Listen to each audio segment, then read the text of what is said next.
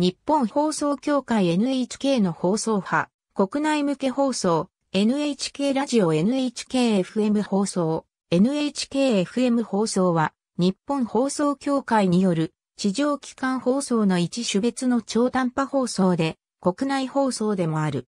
日本で初めての本格的な FM 放送の実験局として、東京で1957年12月24日19時に創出を開始した。その後、大阪、名古屋など全国主要都市で実験局が開局した。当初はモノラル放送であったが、1963年12月16日に実用化試験局となった東京局でステレオ放送を開始した。1966年までに全国規模で地方局の開局を行い、1969年3月1日に実験局、実用化試験局が放送局に種別変更し、本放送を開始した。1972年5月の本土復帰時には、放送未開始だった沖縄県もモノラル放送ながら1974年3月に本放送が始まり、1977年11月に全国すべてのローカル放送でもステレオ放送が可能となった。2011年9月1日から NHK ネットラジオラジルラジルでインターネット経由で聴取が可能となり、2017年10月2日から地域限定で民放サイマル配信サービスラジコで実験配信を実施。2018年4月12日から全国に拡大して第2次実験配信を行った後、2019年4月1日から本配信に移行した。第2次実験配信と本配信は東京、渋谷から配信される東京統域放送のみ全国同一コンテンツとして配信している。周波数変調と超短波の交代域を活かして高品位な放送ができることにより J-POP、洋楽以外にクラシック音楽やワールドミュージック、邦楽、民謡など、あらゆるジャンルの音楽のほか、古典芸能、ラジオドラマなどを織り込んで放送している。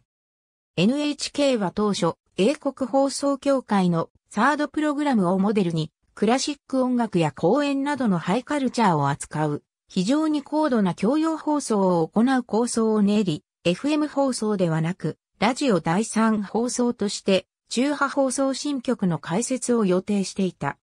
FM 放送は民間放送も含め基本的に県域放送として位置づけられているため、45都府県に各一局と北海道、福岡県に複数局の親局が置かれている。1988年7月の組織統配合において損敗判断の目安に使われた。開局当初はクラシック音楽、または各国の伝統音楽に比重を置いた編成を行っていた。J-POP と洋楽を主体に番組を編成する民放 FM 局とは異なるとしていた。21世紀以降は聴取者層の変化に伴い、前衛的ではないポピュラー洋楽やオリコンチャートに頻繁に乗る J-POP への比重が増えた。現在、1日3枚のほとんどはポピュラー音楽であることが少佐である。純邦楽の番組も多く、両ジャンルは担当パーソナリティが交代するのみで20年以上の長寿番組もある。番組の大半は音源喪失とアナウンサーや出演者の語りのみで生演奏の番組は禁止である。2019年現在の編成は前例を踏襲した保守的趣味であると断じることが難しくなっている。番組改編は年度初めの毎年4月頃の1回のみであり、年度途中での改編は原則としていない。民放 FM 局ではあり得ない再放送がされることも特徴だが、再放送が廃止されることも多い。2006年以降は祝日を中心に月に1回、程度特別番組を編成することがある。以下、主なジャンルを挙げる。ラジオ第一放送は地震、津波情報や国会中継を他番組に優先して放送するため、大相撲中継や高校野球中継が大体放送されることがある。3月下旬は大相撲春場所と選抜高校野球全国大会と国会が山頂復し、7月中旬から下旬にかけて大相撲名古屋場所と夏の甲子園地方大会が重複する場合があり、国会中継や大相撲中継をラジオ第一で放送し、高校野球は FM 放送で代替放送する。大相撲の場合、前者は16時台から放送するが、後者は17時台のみ放送する。原則として東京、渋谷にあるラジオセンターのニューススタジオからラジオ第一制作の定時ニュースを同時放送する。7時12時19時及びラジオ深夜便の時間内。原則として FM 全国ネット番組内でニュース速報は放送しない。23時50分のニュースを1995年度に、23時のニュースを2005年度にそれぞれ廃止し、1998年から深夜便の同時放送を定時化して枠内で放送する。ラジオ第一の放送を変更して放送時間を拡大する場合は FM 放送独自のニュースを制作、放送する。NHK 公共楽団定期演奏会の生中継がある日は19時のニュースを休止する。重要性の高いニュースがある場合、当初 FM 放送では休止予定だったものが急遽放送されたケースがあるほか、2009年5月20日に生中継の合間に通常は FM 放送では放送されない20時のニュースが同時放送された。2012年8月23日は第94回全国高等学校野球選手権大会決勝を中継放送するために12時のニュースが時報前のコールサインアナウンスともども休止となった。9月9日の東京ジャズ2012でも同様に対応した。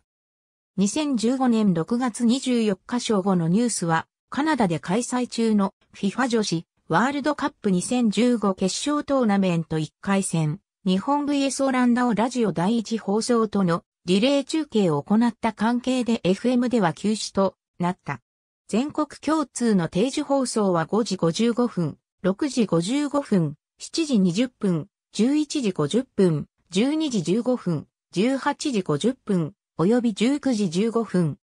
全都道府県で県域放送が可能で、広域放送の対象地域に該当し、県域で総合テレビジョンやラジオ第一が放送されない神奈川、千葉、埼玉、県域でラジオ第一が放送されない茨城、栃木、群馬、岐阜、三重、京都、兵庫、奈良、和歌山、これらはそれぞれ FM 放送で地域ニュースを放送する。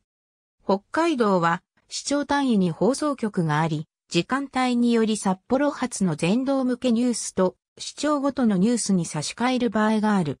東京局、名古屋局、大阪局のニュースは、ラジオ第一放送と同時放送で、県域放送も広域放送と同内容である。夏の甲子園地区大会決勝の中継は、ラジオ第一の広域放送対象地域で、ラジオ第一と異なる県の試合を中継することがある。夏の地区大会決勝と大相撲名古屋場所が重なる7月、中旬から下旬の一時期、夕方パラダイスなど通常番組は短縮、途中で飛び降り、試合終了後から飛び乗り、休止など様々な場合がある。選挙開票速報は、統一地方選挙の場合、途中で差し替えて、地域別放送する。統一地方選挙以外の選挙では番組を全面的に差し替えたり随時番組の途中で挿入したり局により対応が異なる。平日18時台や土曜昼も地域放送を編成できるが縮小傾向にある。1時から5時にラジオ深夜便をラジオ第一と同時放送している。かつては1時にオープニングを設けずに AM 放送の同時放送に切り替える場合があった。オリンピックや FIFA ワールドカップなど、スポーツ中継や年度末に放送される NHK 予算審議で一部時間帯を休止する場合は FM 放送単独でラジオ深夜便を放送する。ラジオ深夜便は日本海側に位置する小出力の放送局で近隣国の大出力局と混信して放送地域内に発生する上主混乱地区を保管し災害など突発事象に対応するために AM と FM で同時放送を開始した。1988年3月までは午前6時に始まり、翌日午前0時に終了した。4月から終了を1時間延長して、翌日午前1時まで放送した。1996年4月からラジオ深夜便を編成する日は翌日午前5時まで放送し、24時間、放送は1998年4月に開始した。24時間放送実施前と24時間、放送開始後も2000年6月までの放送休止日のメンテナンス明けは、放送開始の7分前、5時53分から放送開始用のインターバルシグナルとして、チェレスタの演奏が行われていたが、放送終了時は、国家演奏に続く ID の後にチェレスタされず、停波した。2000年7月以後は放送休止が各局任意となったため、放送休止日のメンテナンス明けのチェレスタされなくなった。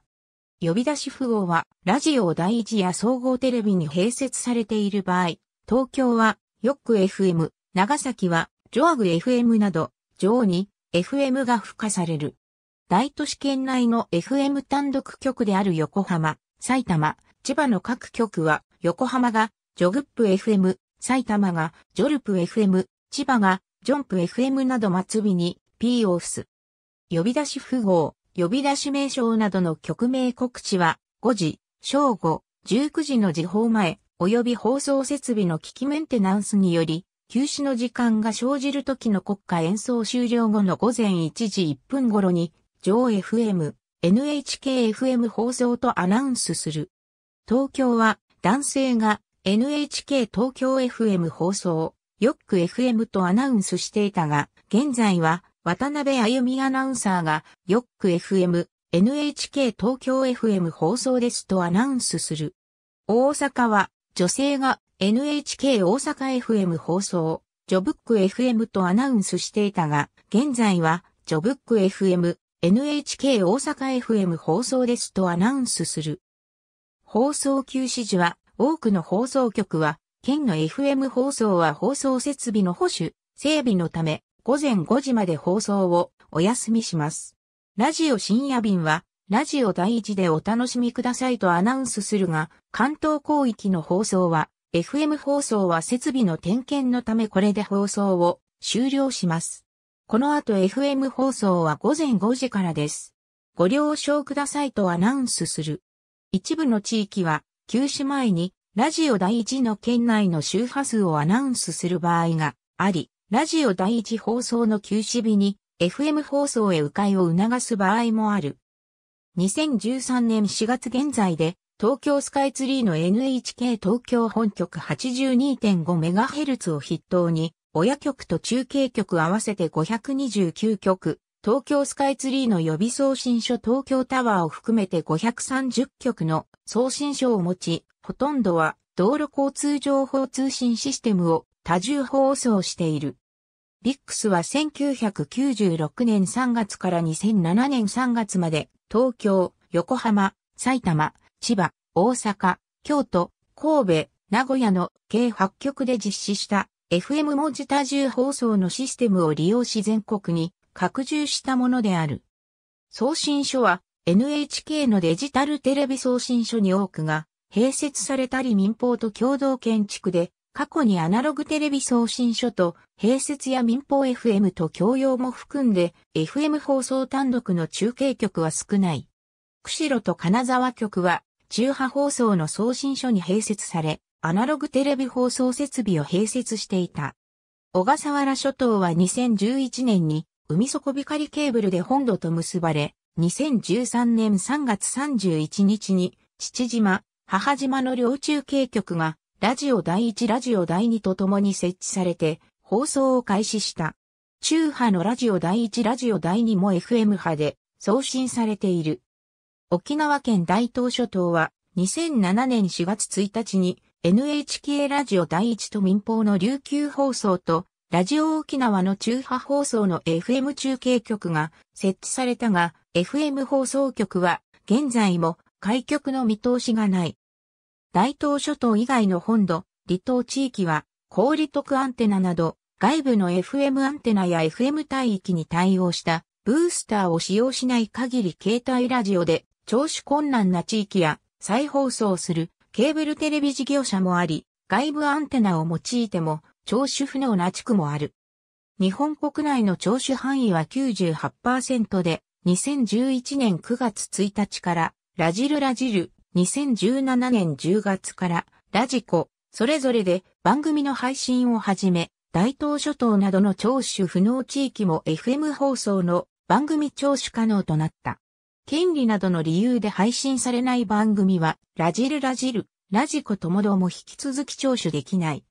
1963年12月16日に東京でステレオ放送を開始し、1964年までに全国の FM 局で開始した。ラジオ第1とラジオ第2の2波を用いる立体音楽堂は FM ステレオ放送に移行した。番組の音源は日本電信電話公社の放送線で各局へ配信していたが、ステレオ設備ではなく、FM ステレオ放送の品質を満たす中継線は他に存在せず、当初のステレオ放送は全国放送の番組のみであった。ステレオ番組は配送されたステレオ録音済みのテープを音源として、東京、札幌、仙台、名古屋、金沢、大阪、広島、松山、福岡の各放送局がステレオ放送する FM 電波を各地域放送局が中継する放送波中継を用いた。1978年9月までのステレオ製放送は東京放送局と東京局の電波を中継する関東甲信越と静岡県地方のみで番組や放送回数が少なかった。後者の FM ステレオ放送用回線として PCM デジタル方式が適していると1976年に結論され、1978年9月11日に FM ステレオ放送用の PCM デジタル回線が、まず東京名古屋大阪間が結ばれ、1979年12月24日に、札幌、仙台、金沢、広島、松山、福岡が結ばれ、沖縄と奄美群島を除く全国で、ステレオ製中継が可能となった。各地方局に続いて1984年に沖縄で導入されて、ステレオ製中継が全国で可能となった。中波放送の放送回線は1993年頃に地上波テレビ放送の放送回線もデジタル放送が開始当初からアナログテレビ放送も2004年3月にいずれもデジタル化された。FM 放送も PCM デジタル回線が2010年頃からラジオ第1ラジオ第2 FM 放送共用のラジオ FM デジタル回線となった。ステレオ番組は開始当初、全番組中4番組程度だったが1964年から午後のステレオ、夜のステレオなどステレオ用の番組を設け、1981年4月に能楽鑑賞、みんなの歌が最後にステレオ化され、すべての FM 音楽番組がステレオとなった。開始当初、東京以外モノラル放送であったローカル番組も、1976年頃から各地方局のローカル番組もステレオ対応され、1977年11月11日に全国の FM 放送で完了し、平日午後6時からのローカル番組枠や土曜日午後3時10分からの FM ローカルの看板番組であった FM リクエストアワーもステレオとなり FM ローカル番組が盛り上がるきっかけとなった。放送開始当初は生放送を除き収録された放送送出メディアはすべてオープンリール式のアナログテープだった。NHK 放送技術研究所が研究開発し、世界の FM 放送でいち早く PCM デジタル収録を始め、1995年頃に DAT などを用いて収録済み番組の送出がすべてデジタル化され、2013年以降の収録済み番組は一部の例外を除き、すべてコンパクトフラッシュで送り出されている。2010年3月9日、日中の定時ニュースがステレオ放送となり、東京からのすべての全国向け番組がステレオ放送となった。ただし、ステレオ放送でもニュースや高校野球中継のように音声はモノラルのまま放送されている番組もわずかに存在する。全国向け番組がすべてステレオ化されても、一部地域はローカルニュースや高校野球中継等のモノラル音声番組は、ステレオ信号を出さずに、モノラルのまま放送されていた地域もあるが、その地域についても設備更新に合わせて終日、ステレオ放送に移行している。地域拠点局では、ローカルニュースもすべてステレオ放送に移行する予定である。ラジオ第一とサイマル放送のラジオ深夜便は NHK ニュースも含め1時から5時は FM で全編ステレオ放送される。年1回程度放送回線テストが行われる場合はモノラル放送となる。2006年4月からラジオ第一と同編成となった12時台の番組もステレオ放送である。2005年9月11日の衆議院議員選挙開票速報、2006年3月25日の北海道、東北地方のみのプロ野球日本ハム楽天の開幕戦中継もステレオ放送だった。ニュース速報、気象警報、交通情報は放送中の内容に割り込まない。ラジオ第2放送も同様である。昼の憩いやラジオ深夜便などラジオ第1とサイマル放送の場合、ラジオ第一で放送する地震情報、交通情報、気象関連の情報を FM でも放送するが、放送しない場合がある。震度5弱以上を観測した地震や津波の可能性がある地震、緊急地震速報、津波警報、津波注意報の発令は NHK の国内向け全期間放送で一斉に放送するため通常編成を強制的に中断する。大規模な選挙の政見放送が実施されている時間中に突発的な事件、事故、災害が起こった場合は、政見放送のスケジュールが公職選挙法の規定により変更できないため、FM 放送で臨時ニュースや気象警報の発令及び解除の知らせが行われる場合がある。2011年3月14日5時から7日間、東北地方太平洋沖地震の関連ニュースを中心に E テレで放送した安否情報や避難者情報を優先的に差し替えながら終日ラジオ第一とのサイマル放送を行った。ありがとうございます。